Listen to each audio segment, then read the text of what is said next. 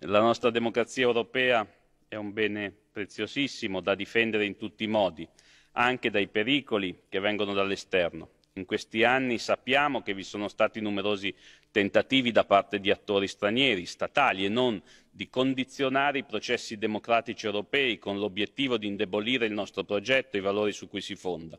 E, come diceva il Presidente Glucksmann, tanti sono gli strumenti che sono messi in campo contro di noi, da forme più o meno dirette di finanziamento a partiti e fondazioni, a cyberattacchi, fino a campagne di disinformazione organizzata, magari attraverso l'uso distorto delle piattaforme. Questi tentativi hanno sempre due cose in comune tendono a favorire sovranismi e nazionalismi e hanno come bersagli preferiti minoranze e soggetti più vulnerabili migranti donne comunità lgbt.